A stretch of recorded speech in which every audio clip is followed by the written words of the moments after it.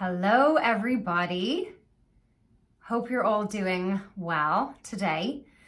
Um, welcome to our informational webinar entitled EB1A and National Interest Waiver Green Cards. Um, hopefully this is what you're here to see um, for those of you watching live and we are recording as well so we can send a link for people watching this later on. So this is obviously I wouldn't be a lawyer if I didn't have a disclaimer at the start of my webinar, but just to let you know, obviously this is an informational webinar. Um, it is not legal advice. I am an attorney and have been for many years, but I am not your attorney. And, you know, this is just, so don't rely on this as, as specific legal advice to you. Um, any timelines or information that we're giving is, you know, going to be based on the information that we have available today um, which can change. So just keep that in mind. Um, this is me, Fiona McEntee. I am an Irish-born US immigration attorney. I am the founder and managing partner of McEntee Law Group in Chicago. Um, I have 15 years of immigration experience and I have published a couple of books and I do a lot of speaking and um, media commentating and, and just like generally talking about immigration um, and advocating at the federal level as well. So speaking to our members of Congress about um, immigration. Um, here are some ways to get in touch with us. This is my info on pretty much all social media platforms. Um, also TikTok, you know, and our email address is there. The firm has its own social media handles, but they're mine. LinkedIn is a great way to connect with me because I share a lot of articles and commentary on LinkedIn. So hopefully you can connect with me there. Um, something to keep in mind about immigration is that the law, the immigration laws are really stuck in a 30 year old time warp. Um, and really what I mean by that is it, Congress hasn't really enacted immigration laws in a very long time. However, that does not mean that immigration is not changing pretty frequently.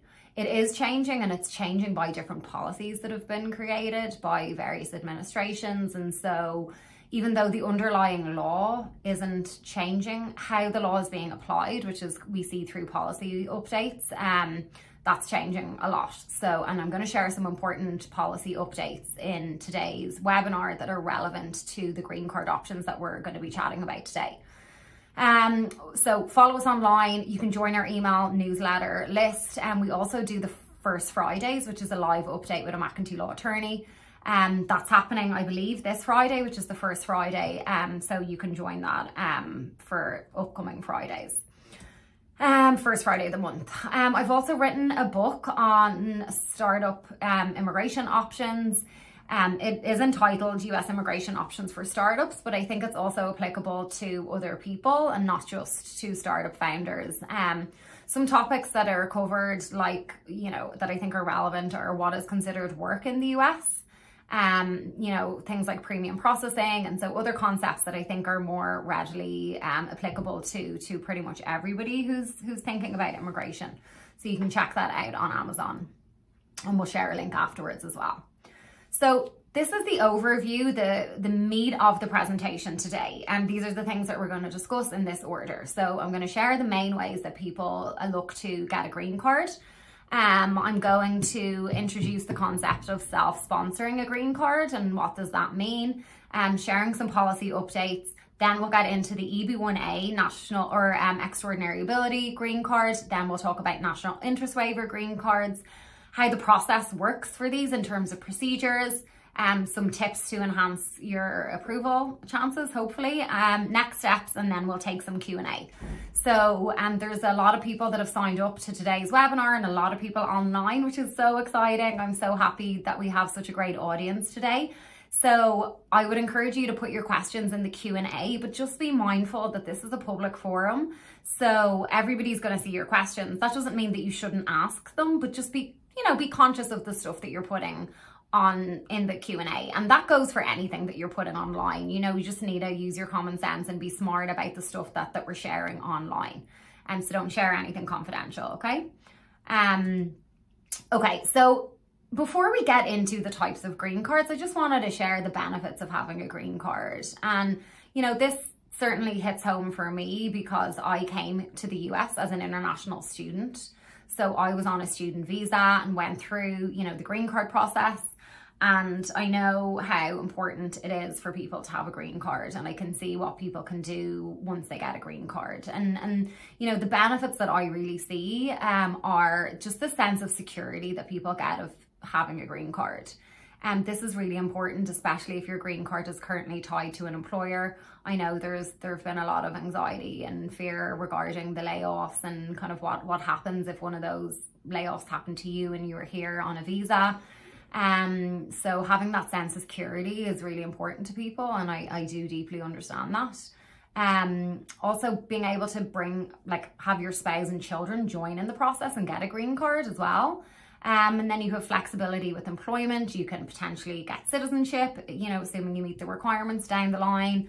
Um, travel is easier. You don't have to schedule visa stamping appointments um, and you can potentially sponsor some family members.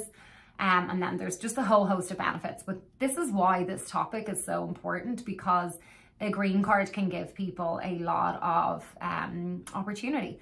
And so um, I just wanted to share a little bit about my journey. So that is my law school graduation um, with my grandmother-in-law and um, that was many years ago. And I started working on in for a, a big high volume immigration law firm and started kind of focusing in on extraordinary ability cases back then.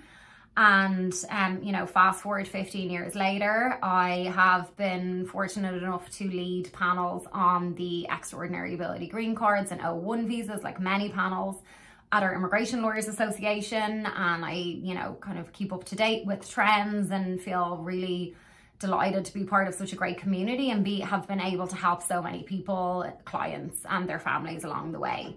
Um, we also have an amazing team of 15 people here at McEntee Law Group and we handle immigration um, exclusively and have a great reputation for some of these cases as well.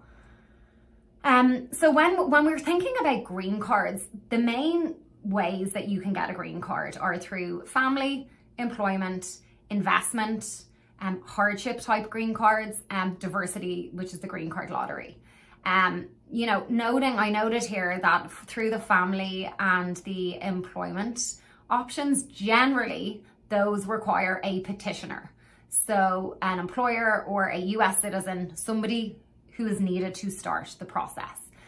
Um, and when we're talking here today about self-petitioned, self-sponsored green cards, we're talking about employment-based green cards that you can sponsor yourself for. So you can act as both the petitioner and the beneficiary. You can file it on your own behalf. Um, so that's what we mean when we say self-sponsored. Um, now, what if you have an employer that wants to support your green card? Can you still do a self-sponsored green card?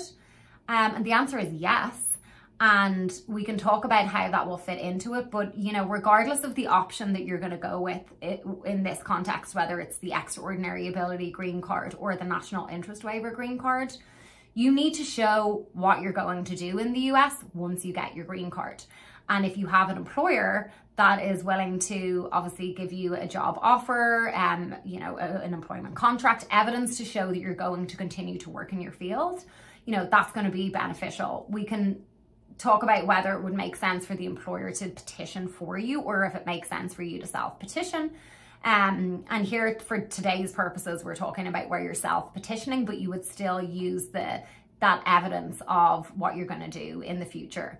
Um, you don't have to have a job offer. You can be creating your own company. You can, you know, show that you're going to be working for yourself.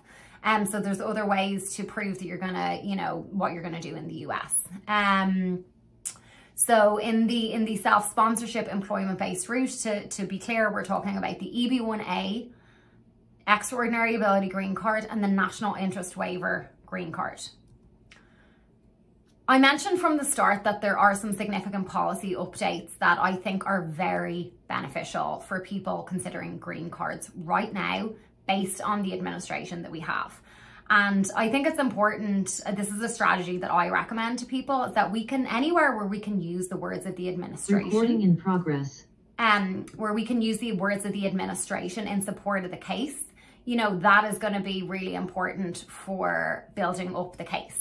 And here's a quote that I include pretty much in all our cases where it's relevant. Um, and even if it's not directly relevant to that particular case, you can find a way to use it, I think. Um, so, you know, the Biden-Harris administration believes that the greatest strength is the ability to attract global talent. So this is their statement. And with the statement, not only is it's not just words, there's actual policy that has been really beneficial. And some of the changes are um, adding some STEM OPT fields that's relevant for international students, um, updated the policy manual for the O1A, this is in January 2022, um, updated the policy manual for national interest waiver green cards and expanded the J1 um, academic training. So um, specifically, right, we're here to talk about the EB2 national interest waiver. The, the importance for us is that the, the policy updated some it gave some fleshed out basically evidence that we can use in relation in support of some of these cases and this is in bold the next thing is that the the administration is saying that the USCIS will consider an advanced degree in a related STEM field particularly a PhD as an especially positive factor when looking at national interest waiver cases um that's really big, right? We have clear policy from the administration, from the USCIS as well, about the importance and how we should weigh up what you know these cases when we're looking at like STEM fields and advanced degrees, right? So really, really helpful language from the administration. Um, it also they also direct adjudicating officers to recognize the importance of these critical and emerging technology fields. And we have a list of these fields. This is like gold for us immigration attorneys and our clients. Um, so a tip would be maybe to take a look at those critical fields and see where your work fits in there. Um, and it's not to say, obviously, you can't pursue one of these cases if you don't fit into one of these critical fields. It just means that if you do, you definitely want to be including these in, um, in support of your case. So I've included a screenshot here of the um, the policy from January 2022. Um, so you can just see as well that it basically um, updated guidance to promote effective and efficient processing of benefits um, and, you know, basically saying how just it's, it's specific to the national interest waiver green card there. And so you can see that and you can look at the policy manual as well. Since then, there have been even more policy updates that have been really helpful. And something that we're so excited about is that premium processing has been expanded to national interest waiver green cards. And um, what this means is that the I-140, which is the first part of the case, the petition to prove that you you deserve a green card in the national interest, um, we can expedite that through a process known as premium processing.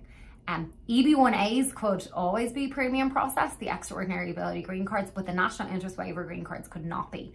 Previously, these cases were taking 12, 18, 24 months, and as a result, it turned a lot of people off um, process, you know, filing these, and, and we would, would maybe look to the EB1A, which is a higher standard. Um, versus the national interest waiver, but now we have premium processing. Now, the premium processing timeline is a little bit longer. It's a 45 day time frame for adjudication of the first part and not the 15 day that you see in the EB1A. Um, but it's still, I mean, 45 days is much better than 48 months um, or like 24 months, maybe not 48, but like two years. Um, so you do have to pay, of course, because it's a premium service. So you're paying for the adjudication in a prompter manner, but it's great that it's an option for people. Um, also, we saw additional updates to the O1B policy manual and some more STEM fields. So some great policy that's happening. I, you know, if there's any takeaway that you get from the webinar is like, if you're considering one of these, really think about whether this is something that you should do sooner rather than later. Um you know and this is not to scare anybody or to you know we you know it, the reality is we don't know that these policy updates will be around forever. Um administrations can come and go and changes can happen you know sweeping changes can happen in a very prompt manner um so we are advising on the policy that we have right now with the premium processing and with these updates to the policy manual. So I would seriously be considering this option if I was looking at ways to get a green card. Um, and obviously you need to be able to put forth a case. Not everybody's going to qualify, But if you are somebody that might have a strong case or, you know, a, a, we could work with you to put together a strong case, I would be looking at these options now. So we're going to first start talking about the EB1A, which is the Extraordinary Ability Green Card. Um, people here may have heard about the O1 visa. Some people may be on an O1 visa. Um, and I thought it might be helpful to just talk about this. I, I mean, this green card is called all, all sorts of things. The Einstein visa or the Einstein green card and lots of different things. But it's the Extraordinary Ability Green Card. And it's the EB, the employment-based category, and it's in the first preference. And that, that matters because it depends on green card availability. So it's similar to the O1, um, except for the standard is higher for the EB1A. So in O1B arts, for example, we're looking at distinction. In the O1A, we're looking at extraordinary ability, meaning you're at the small percent that has risen to the top of the field. Um, so, so that's kind of what we're trying to prove, this elevated standard. Um, now, a question that we get asked often is, I, if you have an approved O1, does that guarantee you an approved EB1A? And the answer is no, it doesn't guarantee you one. Um, but I think it's a good, I think it's a good um, place to start, right? Um, and this quote I've pulled from the policy manual. My tip again is anywhere where you can use the administration's words in support of the case, you really want to be able to do that. The administration, the USCIS, the agencies, any government words that are supportive to your case, let's see how we can put them into the, um, the case to make it stronger. So this, the policy manual says, though the prior approval of an O1 petition may be a relevant consideration, uh, it's not determinative right? So instead of focusing on it not being determinative, I would focus on how it's relevant, right? And we we definitely really frame out these cases as a, a great narrative about extraordinary ability and talking about like the government has already determined they're at least the O1 level of extraordinary ability. Um, and they're also, we're going to show you now that they're also extraordinary ability as required for the EB1A green card. Um, it is important to note as well that you do not have to be on an O1 first, right? You don't have to, you. we have done EB1A green cards for people who were not even in the US, that were outside the US and we've prepared their green card from abroad and got them in that way. We've also been able to successfully get these cases approved for people on H1B visas, um, on E2 visas, um, L, so lots of different types of visas, not just O1s. However, if you're considering, you know, a strategy, sometimes I think it's an idea to what I say, test the extraordinary ability waters first with the O1 to see can you meet the O1 level of extraordinary ability? And if you can, how soon do you want to springboard up to the EB1A? And that's important too. Timing can be key. You know, you don't want to wait till your career is in a slump and then try to get the green card, you want to go at the peak of your career for the EB1A. Um, so, you know, I mentioned that the it's like the green card version of the O1 or the, sorry, the EB1A. Yeah, it's like the green card version of the O1. But in the O1, there's two separate uh, categories. There's the O1A and there's the O1B. And actually O1B is kind of subdivided. But basically O1A and O1B and they have eight criteria and six. And in the EB1A, there's just one big category. So instead of having the six or eight, you have a list of 10 criteria. And now some of those, there's, there's absolutely really no chance. I think that everyone is going to apply, every possible criterion is going to apply to you. Um, but there's a list of 10 and you look through them and we can talk about what that process is like. Um, and you can self-petition for this, but you do need to show that you're going to continue to work in your area of, in your field.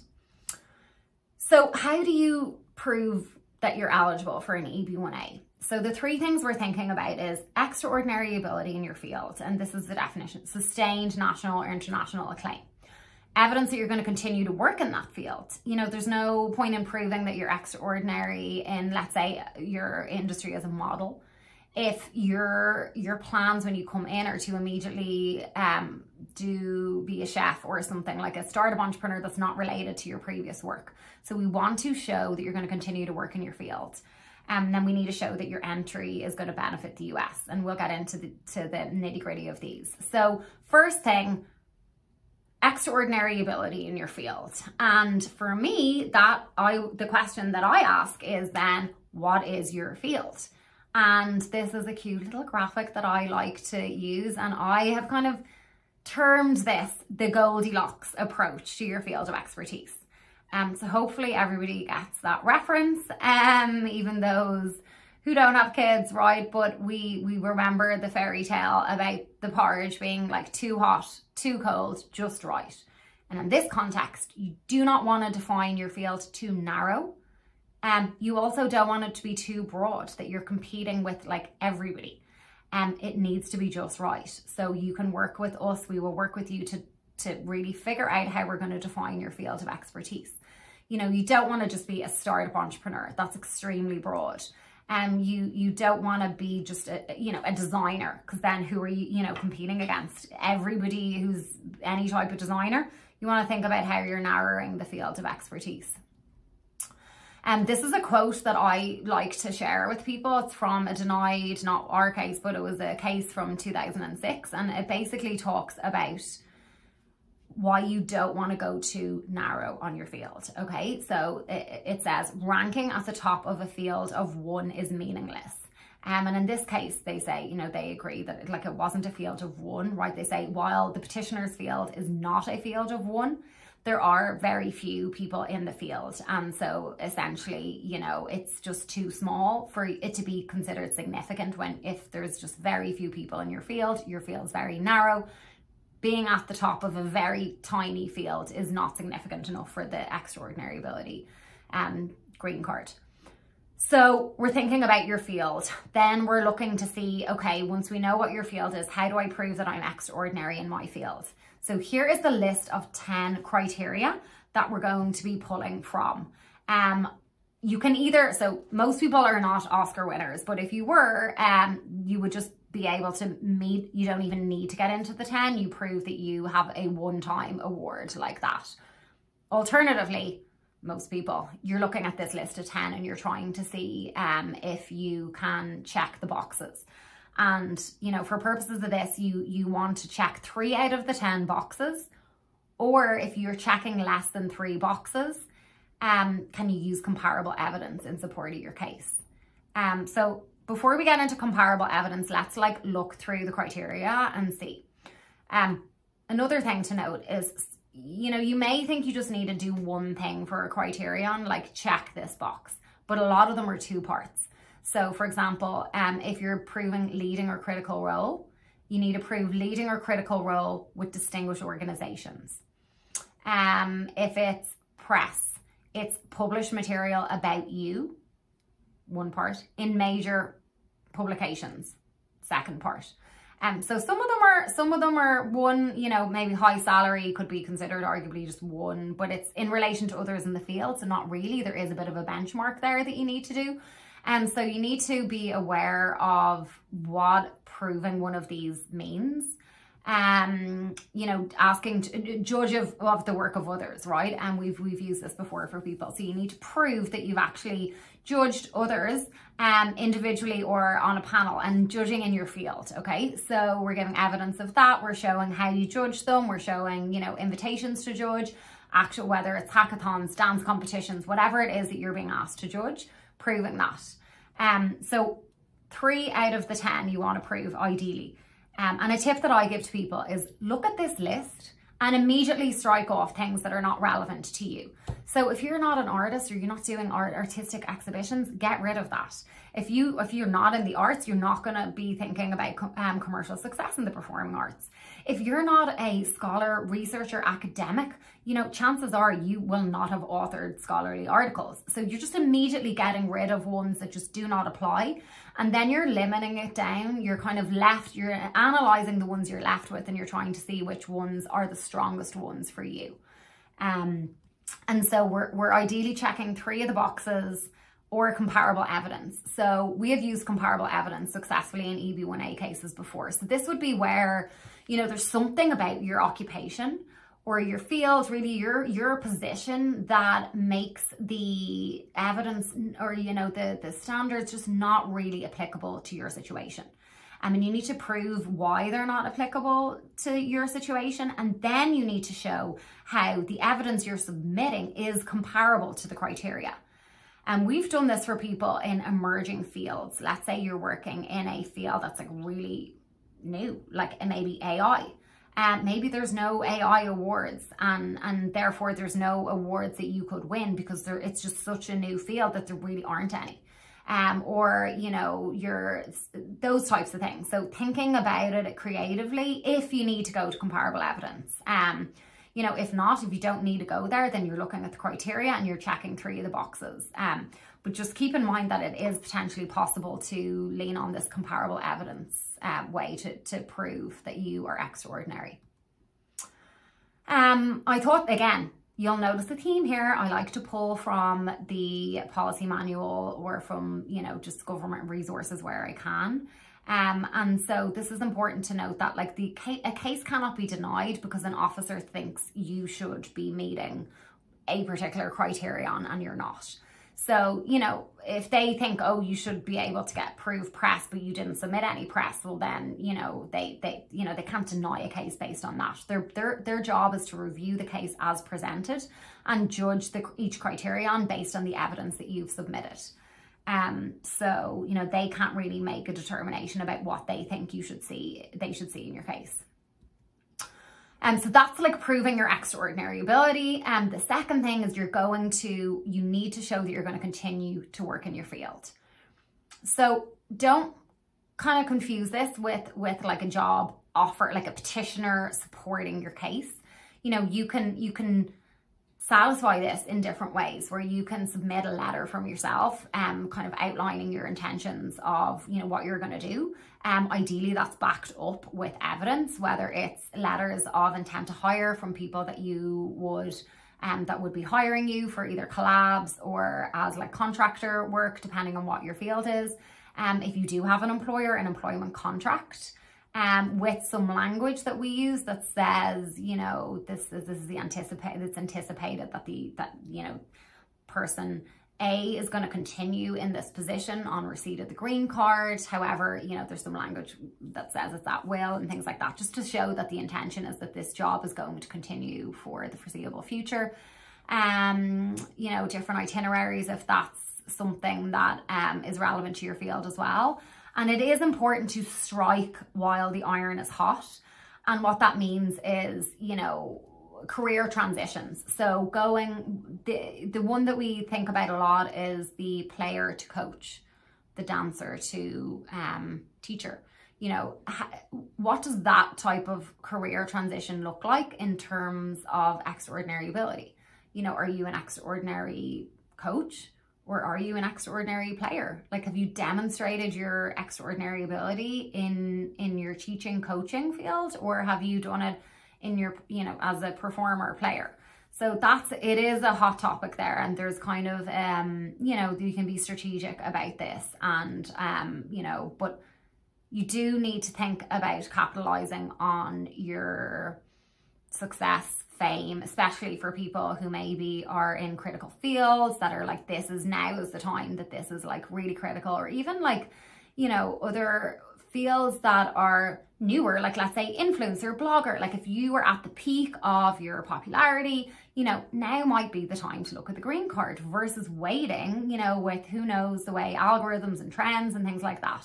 So just something to think about. There is uh, something to be said for striking while the iron is hot with your career. Um, and then the third thing we need to show is that your entry is going to benefit the US. This is not defined, it's interpreted broadly. You know, there's arguments that we can make here. It's not normally a, a massive issue that we see, um, but just know that it is part of the analysis. Um, like a little sip of water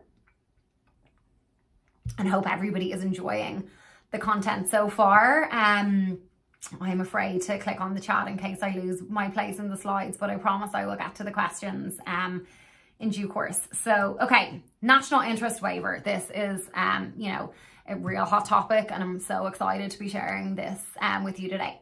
So, first thing is you need to prove, like it's a two kind of part analysis and each part has kind of sub parts, right? But you're basically proving the first thing is advanced degree or exceptional ability, science, arts or business, and you meet the national interest waiver part of the process. Okay, so an advanced degree is either a master's or higher. Remember the policy that, that the advanced degrees in STEM and particularly PhDs are really important here. Um, or a bachelor's degree in at least five years of progressive experience, right? So that's qualifying for the advanced degree part of it. Um, exceptional ability is is proving these, right? Three of these. So um, you're looking at, some of these are similar enough to the O1 or the EB1A, similar-ish, right? Um, but not as high. So membership in professionals associations doesn't have to be like the extraordinary, um, you know, requirement that, that you're looking at in the EB1A, the O1. Um, recognition of achievements, so expert letters, years of experience, um, high salary, you know, these are kind of a list of things that we can use to prove exceptional ability. Um, and then once we do that, we move on to the national interest part of the thing, part of the case. And we need to prove three things here. Number one, that your proposed work has substantial merit and national importance. Number two, that you personally are well positioned to advance this important work. And then three, on balance, it is in the benefit of the US to waive the normal job requirement and labour certification. Um, if you recall, when we started the case, we spoke about self-sponsoring and not needing a petitioner sponsor. Um, so normally you do need one in the employment-based cases, but here you're asking to waive that requirement because your work is in the national interest, hence the waiver part of the, you know, term. Okay, so um, for, for all of these cases, you know, either the EB1A or the national interest waiver, it's a two-part analysis, which we're looking at like the criteria to see whether you meet them by, by preponderance of the evidence. So is it more likely than not? And then it's like the totality of the case. Um, as I mentioned, now is the time to seriously consider national interest waiver green cards um, because we have this great policy that talks about the positive factor of these STEM fields and PhDs in particular and these critical fields. So I'm putting this here again because it is important to be able to talk about these again, right? Because I just think it's it's critical importance. Um, so going back to as well, um, how you're showing that your proposed work has substantial merit, national importance, you're well positioned, and it would be in the interest to waive the requirements. Here we're focusing on the national or, you know, beyond regional impact of your work. So thinking about things like, you know, people working in healthcare, perhaps like research for cancer or, you know, environmental work is something that we're working on as well. People who are, are creating policy, things like that, that are going to be in, in the national interest. So beyond your particular region. Um, it's also important for people who are startup entrepreneurs, who are creating jobs, things like that is going to be in the national um, interest. And how do you prove this as well, right? Um, detailed business plan to show the type of work that you're going to be doing. And there are some specific business plan companies that work with um, immigration attorneys and their clients to prepare a well documented business plan to show how what work you're going to be doing and how it's in the national interest. And there's also some great like government reports and data about things that are important to the US cybersecurity, critical, you know, America's competitiveness. Like there's things like that that you can lean on to talk about national interest as well. Um, so I think you know, cast a wide net, be creative, think about how your work is in the national interest. Like if you were creating like curriculum that's going to be used to teach kids across the US, right? If you are um, developing, like I mentioned, like like healthcare, anything like COVID, we've had people do research for like pandemics or responses, security responses, um, tech that can be used by clients throughout the US um, look at where you're employing people or where you would want to employ people. Um, you know, maybe think of is there any government government representatives like members of Congress that could provide letters in support of your case? Um, are you affiliated with any accelerators, incubators that could support you as well, that could talk about the national impact? Can you get evidence from experts in the field to really attest to the critical nature of your work. Um, also, you're going to be looking at your field and looking, is it in, is it on the critical technology list? You know, is that something that we could use in support of your case?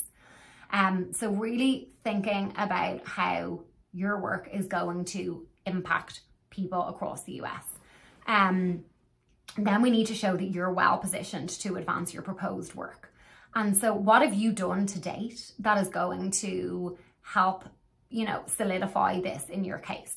Um, now, an important difference, I think, between the EB1A and the National Interest Waiver is that the EB1A really looks back at your achievements to date.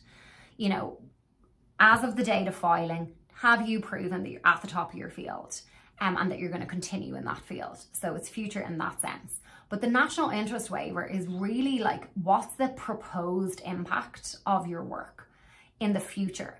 And how are you the one that's going to be well positioned to to advance that work? You know you have the degree in the field. You have been researching this for x many years. You've done you know you've developed an app. You did it you know how why are you the one that can um you know really like further this along? Um so arguably like the standards not as high for the national interest waiver. It's just it's different because it's not extraordinary ability like proving that you're at the very top of your field. It's like, does your work have an impact on a national level and is it, you know, is there substantial merit to it?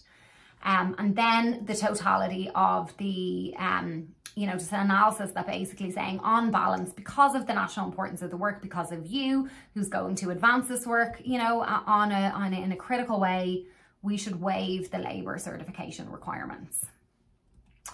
So the two-part analysis I mentioned, we're basically, so in the EB1A and in the National Interest Waiver, we're looking to see, are you checking the boxes? Are you checking the three boxes, three out of 10 boxes in the EB1A? In the National Interest Waiver, are you, do you have an advanced degree or exceptional ability? And are you kind of meeting the National Interest Waiver test? Then on totality, you know, are you meeting, do you have this level of expertise that's required or are you, does your work rise to the level of national importance?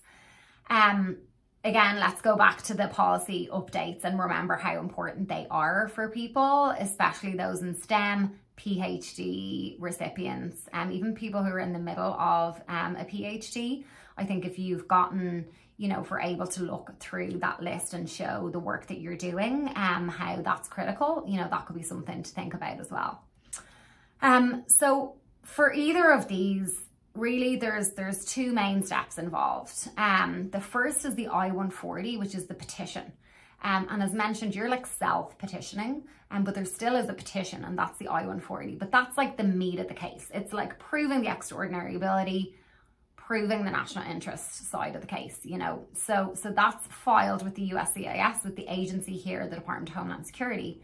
And then the second part is the actual green card application.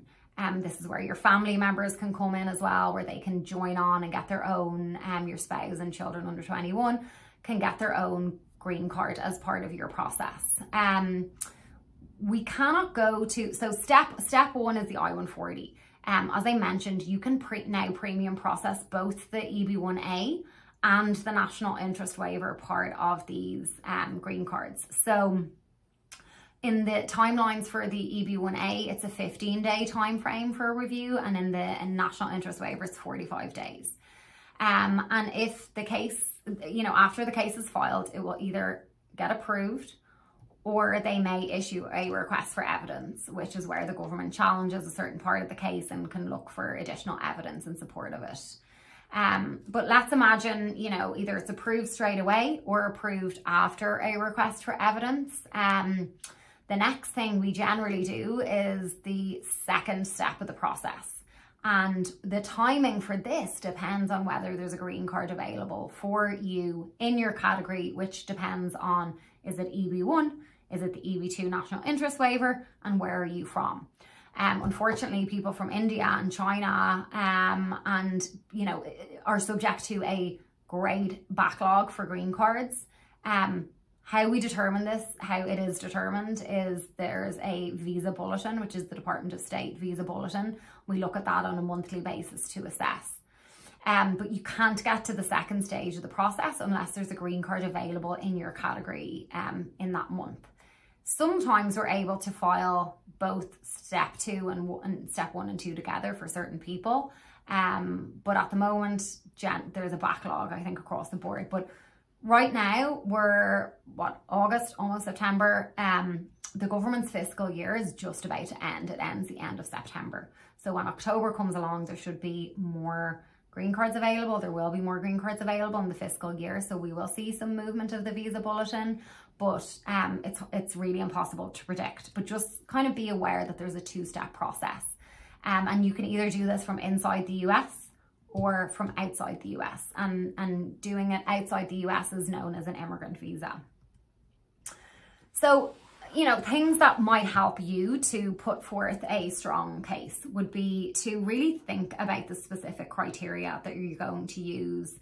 Um, if it's the oh, EB1A, what are your three that you're looking at? And are you really being, are you checking the box fully?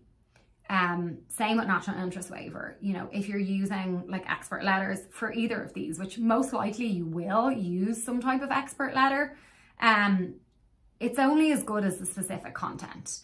You know, I have seen a lot of these types of cases and sometimes these letters are that I see that other people, you know, I've just seen letters that I, it wouldn't be the way I'd prepare them. They're a bit they're very generic and they maybe talk about how someone has great work ethic and is hardworking. And of course that's important, but it's just not going to seal the deal. You know, if if they're talking about how you played a leading or critical role with distinguished companies, how was your role leading? What specific examples can they prove to show how your role was critical? And how are we proving that the company was distinguished? You know, if you've made original contributions, like what are they? How were they original and how do they um, have a lot of significance in the industry? You know, if you judged others, like why were you asked to judge? And, and, and examples of like people who judged alongside you. Like you want to be able to um, really utilize expert letters in a way to kind of put um, some of the evidence into context. And, um, you know, there's some great case law as well about how we can use expert letters in cases and how, you know, if the expert establishes their credibility, um, and if they, you know, provide, you know, really clear evidence that is not disputed and there's no contradicting evidence about uh, contradictory evidence, why that should be, um, you know, good evidence for your case. Um, so really thinking about the specific content of those expert letters and who who's going to write them. Um, you know, who who would be the best, who would be the best authors of expert letters given your um, background. Who knows you? Who knows of you? What would they say about your work? Things like that. Um, I also mentioned a business plan. This can be really key for people to prove, um, I would say especially national interest waiver cases, right? To really document, you know, what is the problem? How are you fixing it? And what, you know, what impact are you going to have? Um, are there reports of, you know, governmental reports of this issue? What kind of, is there media stuff around the issue? And how are you going to advance this? And, and what will the impact be? And how can, we, can we quantify that? Um, so they're the types of things that you would be thinking about in your case. Um, and, you know, you've heard me say this multiple times today, to use the words of the administration or the USCIS in support of the case. Um, how can we and we put this in all our cover letters, in our letters of support, use the administration's words to tell the officer who's adjudicating the case, this is exactly the type of person that the Biden-Harris administration were talking about. This this person here, we were talking about them. Were they that's who they were talking about when they made those statements. You know, when they talk about these wanting to attract the best to the US, this is who we're talking about. So I think it's really helpful to use the words of the administration, excuse me, as much as you can. Um, and it's, and again, policy manual updates, um, statements from the administration, even the mission statement of the USCIS that's been updated using that as well. And um, it talks about a fair adjudication, right? Saying like, don't issue a request for evidence that ignores all the evidence that we've provided. That is not a fair adjudication. You know, your mission, USCIS, is to give our clients, to give people a fair adjudication. Um, and so things like that, I think, um, can be super helpful. Um, and of course, to plan ahead as much as you can.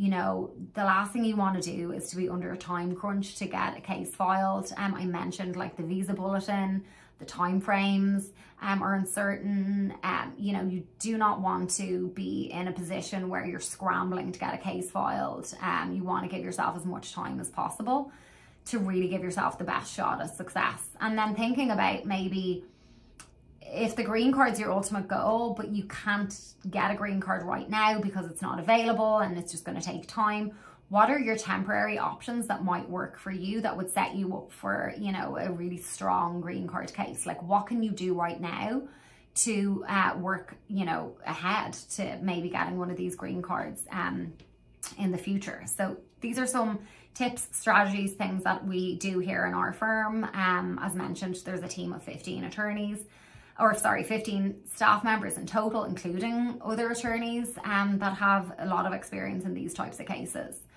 Um, and so if you're here and you're wondering what are the next steps, what can you do? So one thing that we're going to offer today is we're going to offer a discount off our consultation rates, um, but only for the first 50 people who schedule consultations with us. Um, we just, you know, we have limited hours in the day, but if this is something that you're interested in, we'll be sending some info in a follow-up email, um, or if you're watching this, you know, we'll probably put the links um, there. Um, I would maybe rewatch the recording if this is something that you're really interested in. And um, you can also get my ebook that's available on Amazon that really provides some additional context into this and also some other options that may be applicable for people like startup entrepreneurs. I'll talk about international entrepreneur parole and um, maybe e-visas, H1Bs, L, so lots of other options as well. Um, and now we're at the, okay, before I go to questions, here's a plug for our social media that you can follow us. This is the firm and I mentioned I'm US visa lawyer on the majority of our platforms. Um, hopefully this has been enjoyable for people. I'm going to take a look here. Um, I know we have the chat and we also have the Q&A uh, Q&A function. Okay, so if you bear with me, I'll go through this. And just keep in mind that, you know, I am an attorney. I can't be giving people specific advice they're going to rely on. I'll try to, um, you know, give some general advice that's going to be helpful to people. Um, okay, so someone's saying they applied for an extension of their B visa um, and they're currently applying for the EB1A. Um, so that is like strategies for B while you're in the middle of the process of the extraordinary ability green card. You really would need to talk to the attorney that's handling that case for you. Um, you know, a part of a B is is normally showing that you're going to return. Um, so you need to think about how to present that in a way that's not inconsistent. You know, you don't, you just need to be careful, I think, about how you frame that. Um, okay, so next question, someone would applying in the green card lottery affect other petitions? Um, I mean, the green card lottery is for people who, you know, diversity visa, so not everybody's eligible to apply. Um, the chances are, you know, not amazing for people. You know, the odds aren't great. Um, so it just, that's a very broad question about whether it would affect any other petitions. You'd need, we'd need to see what state did you get selected in the lottery whereabouts you know have you submitted your application did you just apply are you trying to get a student visa and you have a green card pending for a diversity visa so there's a lot of considerations there that would um i'd say be kind of relevant there um, so, okay, asking me to elaborate on the premium process for national interest waiver. So the premium processing is for the I-140 part of the case, which is like the meat of the case, the petition, the national interest waiver part of the case. Um, and that's really, I think, the biggest hurdle in the green card case is the I-140 petition. And that's the part that you can adjudicate. And the next part, the final part is the green card application, which is really going through and showing that there's um, there's nothing in your background that would prevent you from getting a green card or being a permanent resident. Like you've no criminal history and, you know, no unauthorized um, worker violations. So the biggest hurdle in these cases, again, assuming there's no major inadmissibility issues, is the I-140. Um, and that's the part that you can premium process. Showing extraordinary ability. Is it harder task for a student on OPT? Um, okay, how we break this apart is OPT is your postgraduate training. Generally, you can do pre or post, but a lot of people do postgraduate OPT. So you can get that for 12 months and an additional 24 months if you have a STEM degree. and it's on the STEM list. Um, for extraordinary ability, we do need to show that sustained national or international acclaim. So that kind of means like sustained, like over a period of time. Um, it is possible to go from OPT um, to O1 visa, which we have done, OPT, STEM OPT, O1 visa, and then perhaps on to extraordinary ability visa. Um, and it's not to say that there's nobody, you know, that there's not one person that could go straight from OPT to extraordinary ability visa. Of course, there are, you know, in theory, that could be possible. What did you do before your degree? Is there any other evidence of work? Like, how, what are we drawing from to build a case? Um, so it's it's not it's not impossible or out of the question. However, I think it's you know you do need evidence to build up the case, and normally you need to show that you've been working for some time. Um, and with a student visa and with OPT, you know, it, it can be hard because especially if you just have the 12 months of OPT, but if you can also get the additional two years post, um, in, you know, initial OPT, then you may be able to build a case. So um, we've definitely done O1s for people from, from OPT. Um, okay, someone's saying if you get O1 in a tech business in a vertical of one type, but you're pivoting to a tech of a vertical in a different, basically, how can you kind of think about um, pivoting uh, in your career? Um, so for, for, for O1s and EB1As, it's not necessarily you know, your field is not necessarily defined by your industry. It's more like what are you doing? What are your skills? And I'm, you know, is there an overlap there that you can draw? So maybe you're working in one industry, but like pivoting to like a slightly different industry, but but your skill set is relevant to both. Is there a way that we can tie this together? Like you want to draw a thread between what you've been doing and what you're going to be doing. And so there you can be strategic about you do about how you do that. Um so I would say it's not necessarily the industry that matters. It's more like is there a commonality between your actual work and your daily um skills? Um, okay, someone's asking if you're applying for a national interest waiver through advanced degree, do you still need to show extraordinary ability? No. So national interest waiver um, is either the advanced degree or the exceptional ability.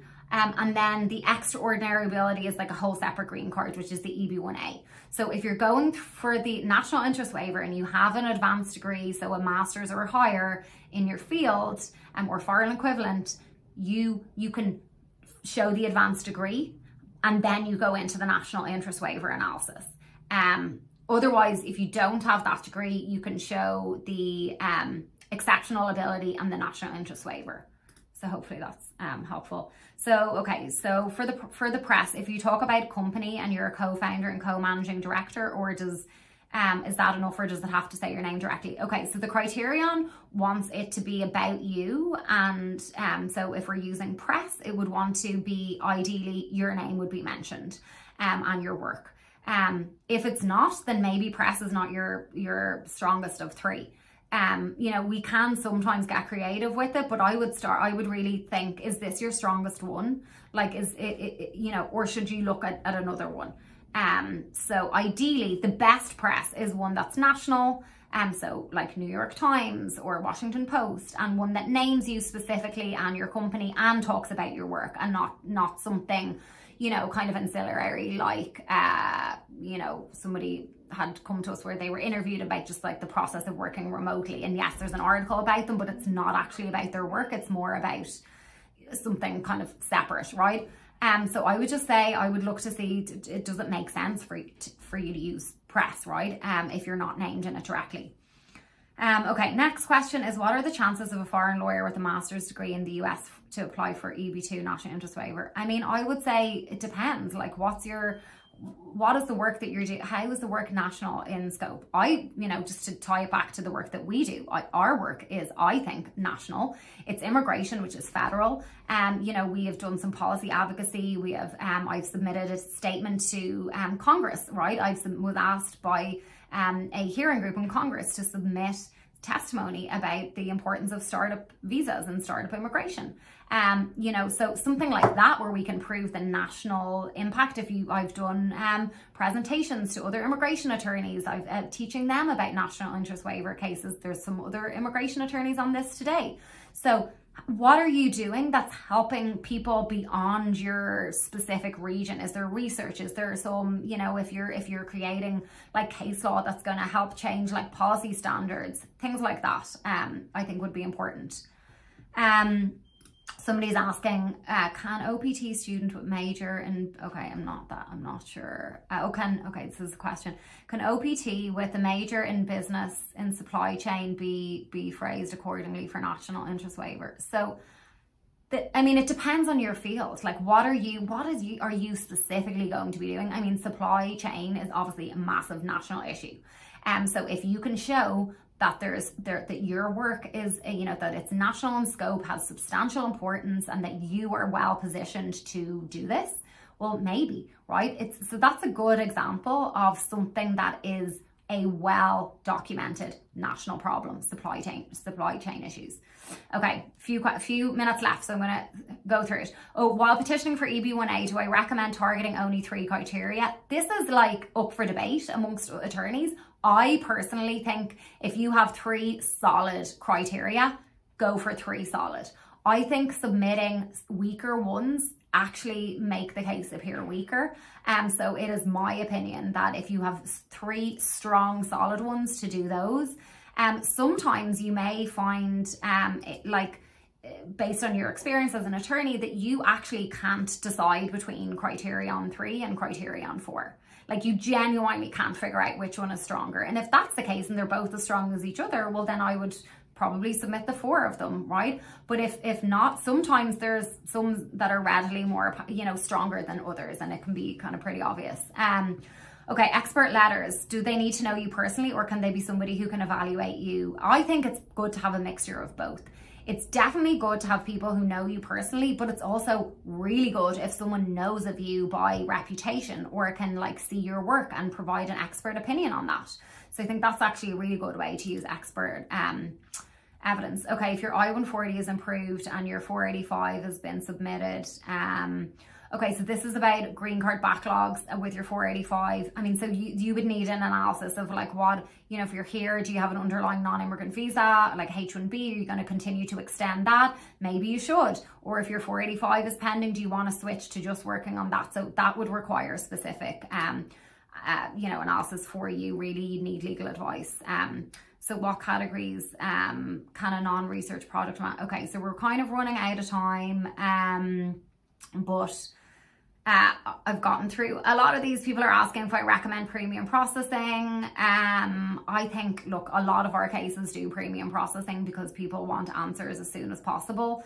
Um, you know, can it increase requests for evidence chances? It may, but it's also, you know, I, I've heard of requests for evidence without premium processing cases. I think you submit you know, really uh, stand by the case that you're filing and know that if you get a request for evidence that you have doc, you've submitted the strongest case from the outset.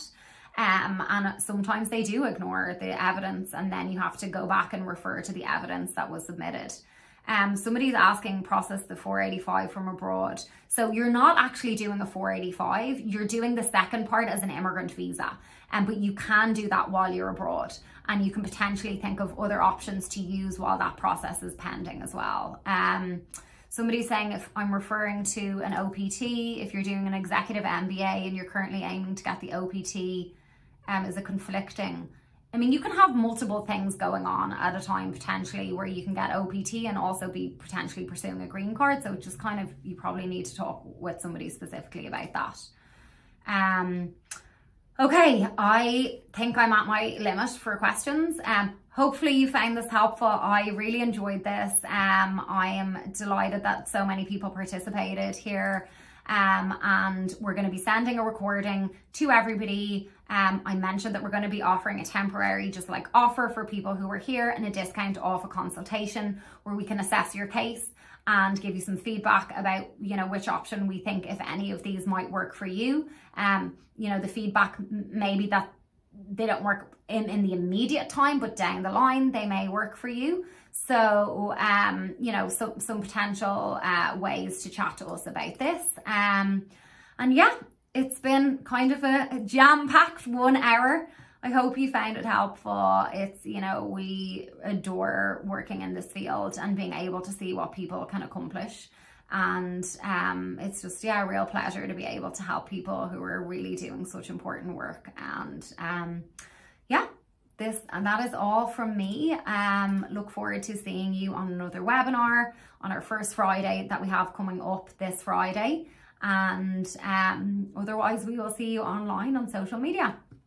Take care, everybody.